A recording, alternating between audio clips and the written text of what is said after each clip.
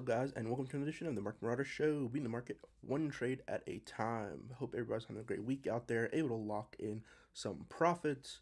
In this episode, going to be talking about Robotaxi, given an analysis of some of the things going on in the market as we prepare for the August 8th reveal from Tesla of the Robotaxi. Now, Waymo has their version of Robotaxi, going to be giving an analysis of that a little bit later on. Also, some of the updates that have gone on technology wise with new chips and development, as well as some of the AI approaches that Elon Musk himself have announced for Tesla and how they plan to implement these new AI models to Tesla for the introduction and rollout of Robotaxi as well as Optimus. So let's jump into some um, B roll for Waymo, uh, and Waymo basically has a similar platform to Tesla, uh, and they already have it on the streets. But let's see what they're doing and how they're implementing their version of the robo taxi. I saw a couple cars come and go. I got the bright idea. Well, you know, I can also hail one of these cars, and maybe I can cause one to become unparked and come out and get me. So I put the destination in as normal, and here I'm adjusting the pickup and putting it just beyond the end of the parking lot. And now, in fact, it has matched me to one of the cars that's in the parking lot. It's the one off the end that started moving and very painfully coming to my location. The interesting thing is that they've chosen to show the location of the car in the app even when the car is within the depot. So if you hail the Waymo, you can zoom all the way in, and if you see that little line segment going into the parking lot, then that's how you know it's coming from the depot. So it gets a little bit closer, we get a good look at the plate, and yep, it's definitely our car. At this point, I'm remembering that Waymo has a no show fee that I believe gets charged when the car shows up, but then you cancel the ride after the car has already pulled over. So before that happens, I have a very short uh, distance that I can cancel the ride. Um, so I'm going to go ahead and cancel it because I don't actually want to take it. Just as the car that I hailed left the depot, another unrelated car is coming back, and that gives you an idea of how busy these places are.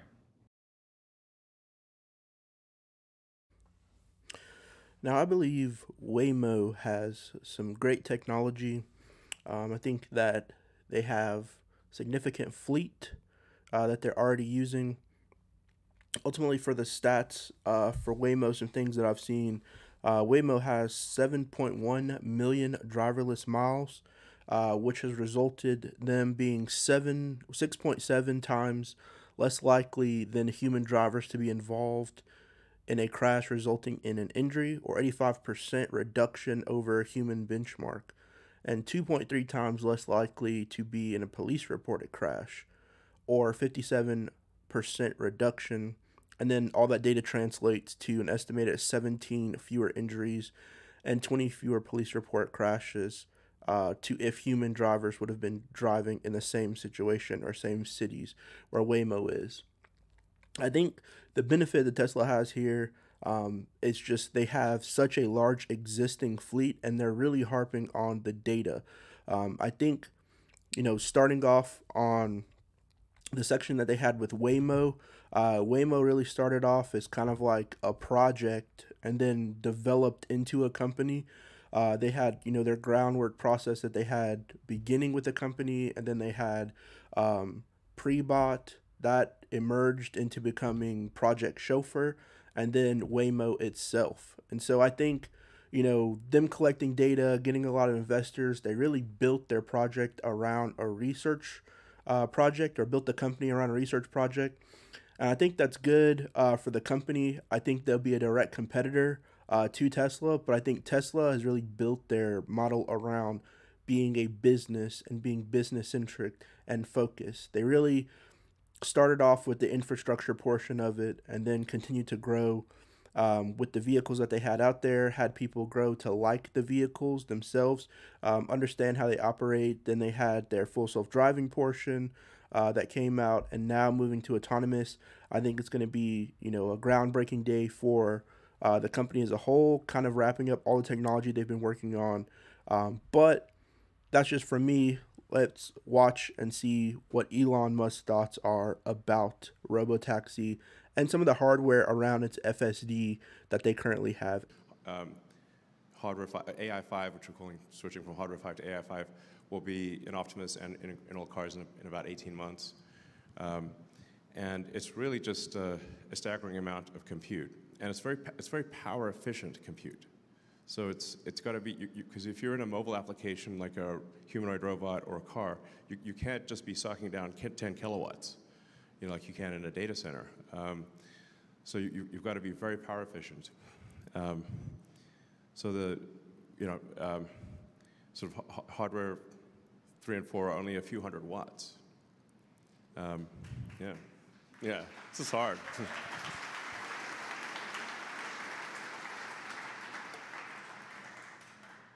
Now, hardware 5 will, will be able to go probably up to about 7 or 800 watts, it, but it'll, it'll power fluctuate um, contingent upon the complexity of the scene that it is that it is in. So if it is in a you know parking lot stationary, it's like you know compa- you know don't have to think very much. Just like a person, like if you're in a complicated traffic scenario, you've got to think a lot more than if you're just cruising along, you know, on an empty road. Um, but something that I think is potentially interesting down the road is, like at some point, the Tesla fleet I think will probably be, you know, over 100 million vehicles. And if each vehicle has a kilowatt of efficient inference compute, um, I think there's a there's, I think there's an, an uh, sort of an Amazon Web Services AWS type opportunity because if you've got 100 million vehicles with a kilowatt of efficient inference compute, you've got 100 gigawatts of compute. Like 100 gigawatts of compute is a lot, and it's distributed all over the world. So even so, when the car is not in autonomous mode, which I think probably is, you know, in, or, or doing robotaxi work maybe 50, 60 hours a week, but about 100 hours a week, it's it's not, uh, it, it's probably stationary.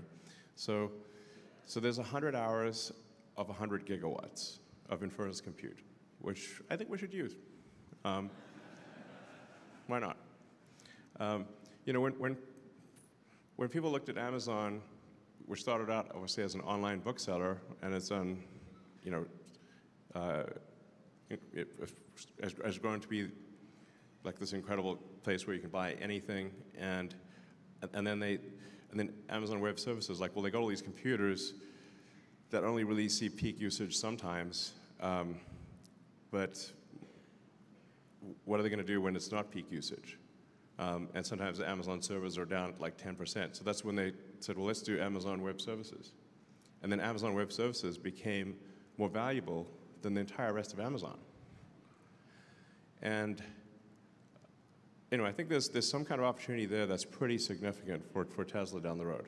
Um, you know, again, that's really, nobody's really factoring that in. Um, but I think that, that actually will be quite significant. Uh, we also no, are no longer compute constrained uh, for training. Uh, so uh, I, I, check in with the team. It's like, um, is there anything we could do to improve the pace of progress with respect to training and inference? Uh, and currently, that is not the limiting factor. In fact, the, the limiting factor right now is that the the, the amount of miles between interventions is uh, so long that it takes quite a while to figure out which version is better than the other version because none of them are requiring any inter interventions.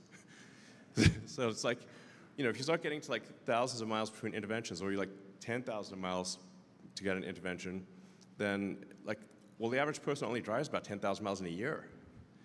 Um, and if it's in, a, in a, an urban environment and the average speed is 20 miles an hour, I mean, so our professional test drivers get pretty bored, frankly. you know, they, they're like, okay, I drove all week and there was no intervention. Like, like the highlight of the week would be like, yes, an intervention, finally. it's like getting to that point. Um, so, th so this is where uh, actually having uh, a giant fleet is extremely important because we can deploy uh, a new FSD model and run it in shadow mode and see what see how well it performs uh, you know, compare the, how the human drives the car versus the, the new self-driving build, and, and then analyze that delta in shadow mode, like the shadow knows, uh, or doesn't know, um, as the case may be, and, and then be able to assess uh, by getting billions of miles uh, very quickly uh, with the giant fleet. Like that, basically, that, that data engine is incredibly helpful. Like, I, I actually, it's not possible to solve the self-driving problem without having millions of vehicles on the road. So, um, now, like Elon said during the shareholder meeting, I think that their prize to really roll out this robo taxi, uh, they've really focused on collecting as much data as possible, um, using things such as NVIDIA's platform, uh, being the NVIDIA Blackwell that has recently been released, the platform uh, that has helped the NVIDIA stock shoot up significantly. I think if they continue to grow with this collecting data, using the efficiencies of not having um, them over computing, getting all of the data while the system is idle or in shadow mode, as he explained in the video, I think those are great things that will help train the models. And then also, you know, when you're training AI models, having that data um, and then having the data being back tested against itself and not having any inferences or any errors that are coming up. And that error being delayed for longer portions of time meaning you know like you said people sitting around with no errors um, kind of running out of miles getting all that data that people have from the existing fleet and then having people be able to have the opportunity to upgrade their existing fleet meaning they won't have to buy a new vehicle just upgrade a plan and really using the software that's already embedded into the system and not get a new model is something that you know I've really seen trend between Nvidia as well as uh, Tesla themselves. So using what customers already have um, is a huge key selling point. You don't have to buy anything new, and then also upgrading what you currently have with new features, just using it as software. So really, software as a system, um, which I think is something that the company is moving more towards and focusing on using that real time data with the new forms of technology that are out there to really enhance the customer or user experience to give them the most amount of benefit that they can have with this new platform. So I think rolling out the Robo Taxi on August 8th will be great. I think it definitely is a groundbreaking um, event for the company as a whole.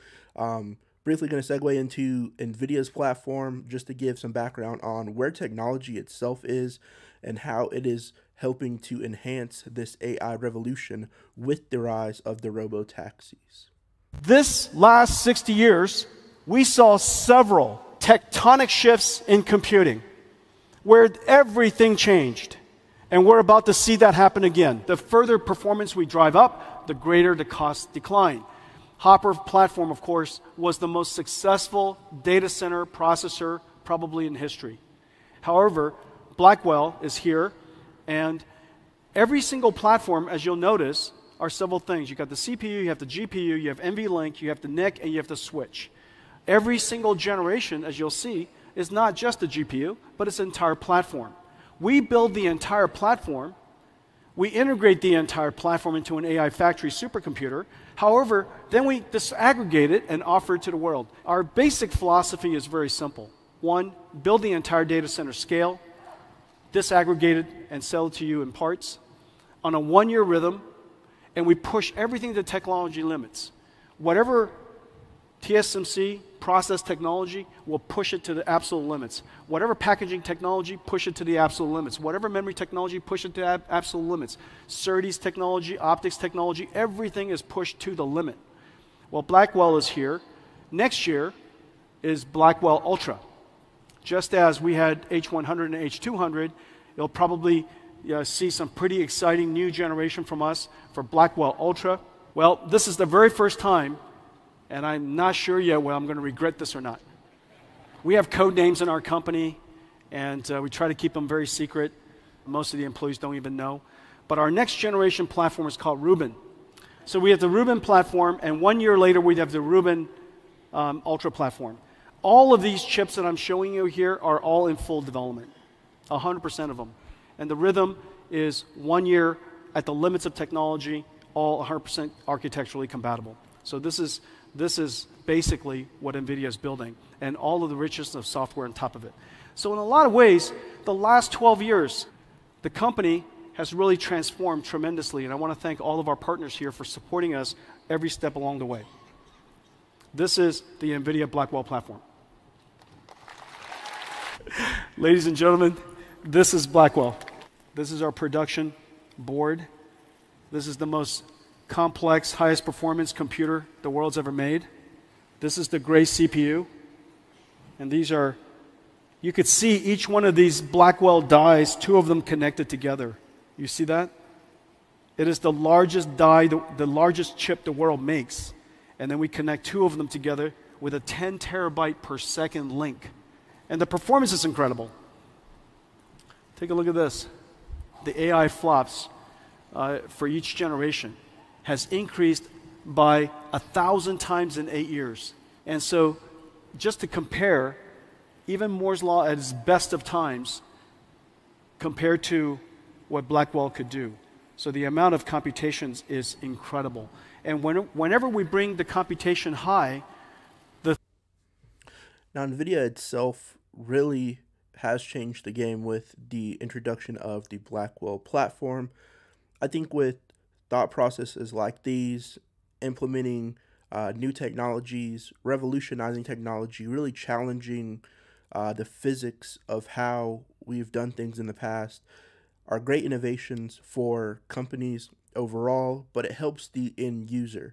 So, being able to implement the Blackwell platform into existing data centers will help companies such as Tesla.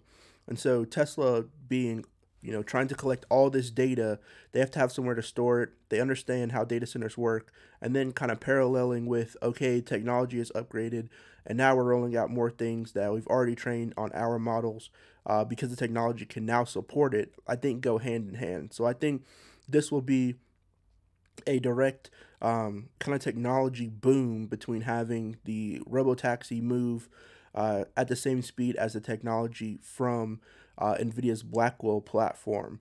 But there also have been a couple of analysis from some of the market makers, I would say, one being from Cathie Woods, the other one from Dan Ives.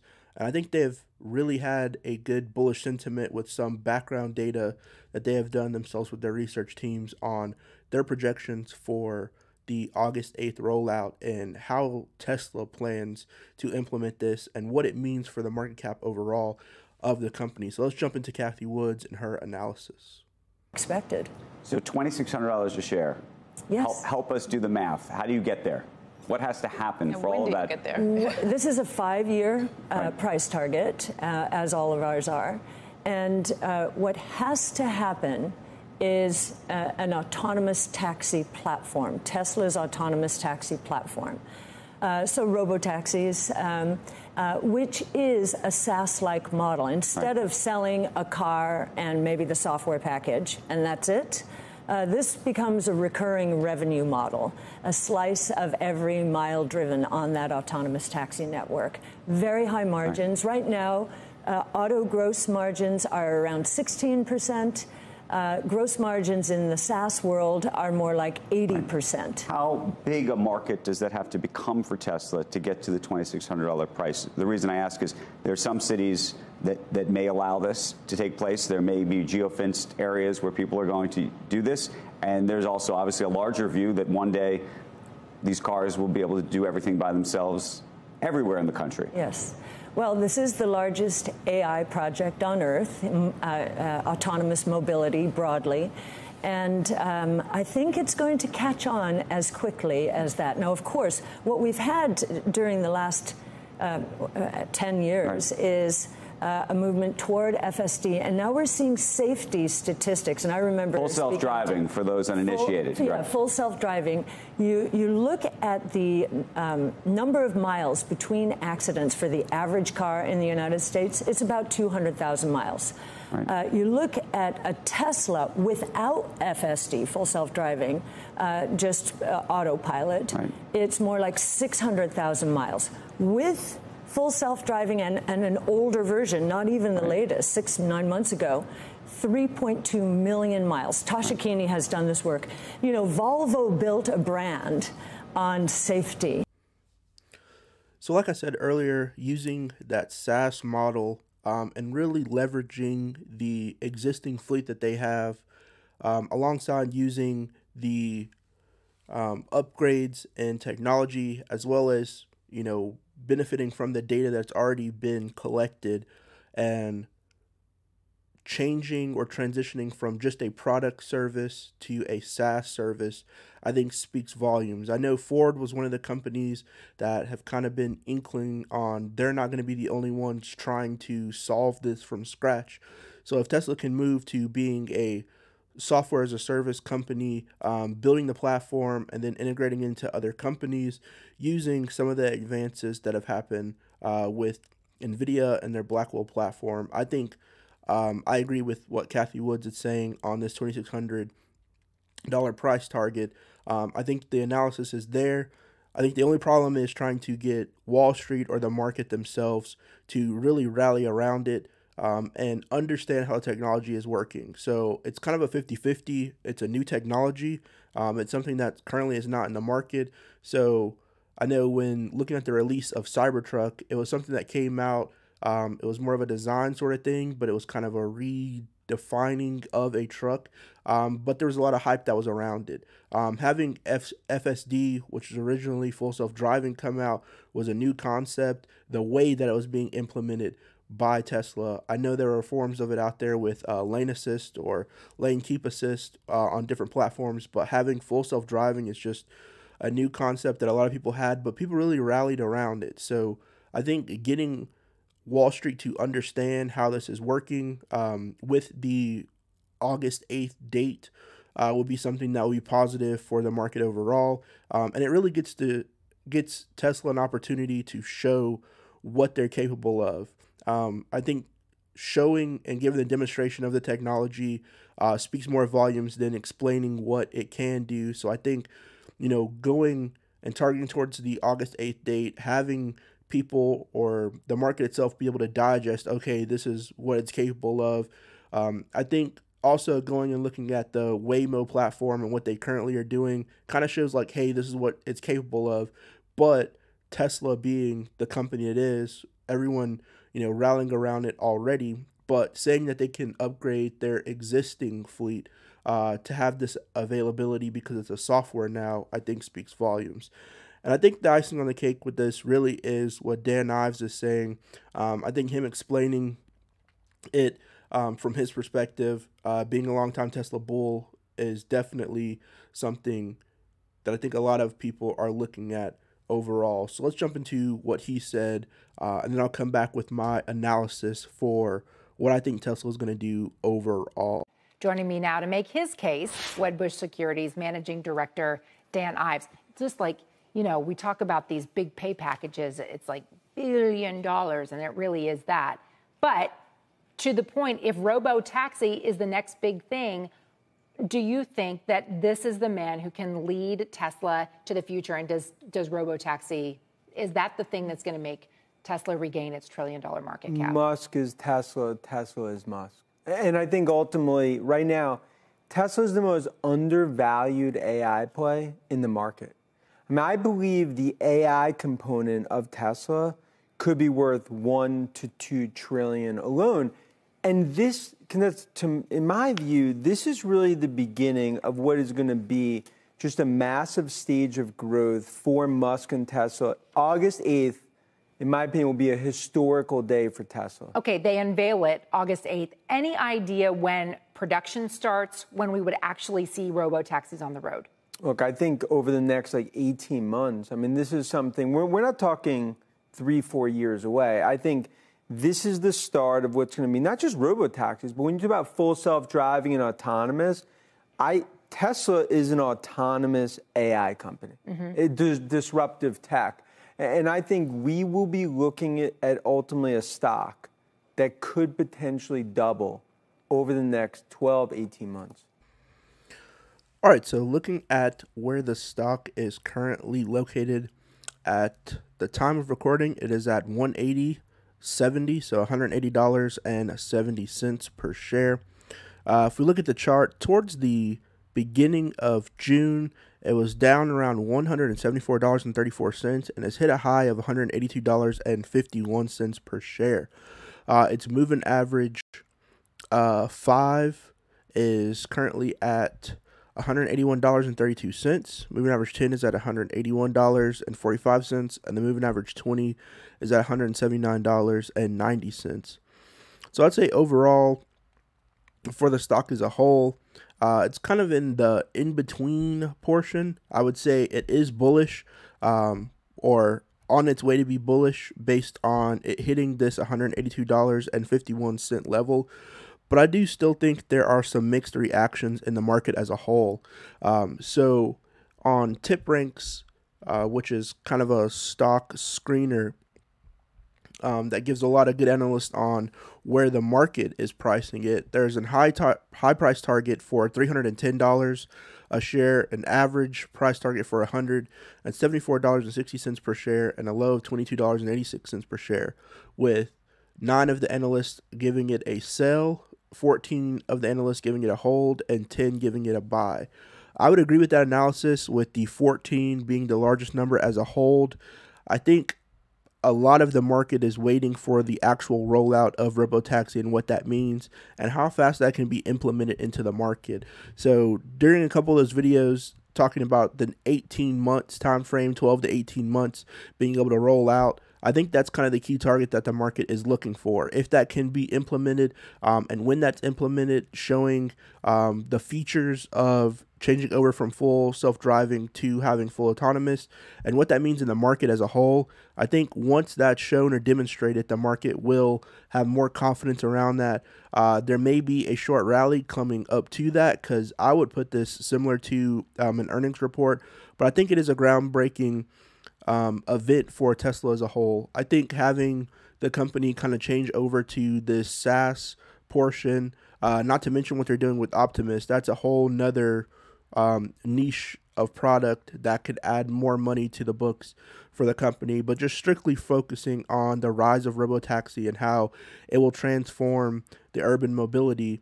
You know, you have companies that are out there that already do rideshare. You have Uber, you have Lyft, um, but when you know in 2020 uh, they really had a hit, so the market was hit from a lot of those. Uh, they're still struggling with finances overall, trying to get people uh, to sign up to be Lyft drivers. If you're not in a bigger city, it really doesn't help, but I know if you're in like a small town and you have a vehicle and your vehicle's able to go and you know run errands or serve as a taxi uh, form of passive income in the current economy that we have now, I think is a game changer for a lot of people. Uh, having ways to have your vehicle be a form of passive income for you um, is a great alternative and may be the indicator that a lot of people need to go ahead and purchase a Tesla. But there will be people who do not purchase overall, who are just like, oh, I'm going to stick with the petrol or gas powered vehicle and that's perfectly fine. Uh, but I think as you know, companies continue to grow with EVs, uh, Tesla is really setting the standard as to what to expect from an EV uh, company from their EV portion of their company. Now, Tesla is more than an EV company; it's a technology company, and they have shown that with Optimus as well as uh, some of the other solar projects that they have done um, with you know enhancing people's uh, capacity for getting in energy to the grid. So I think overall, just this one section of the company is kind of revolutionary.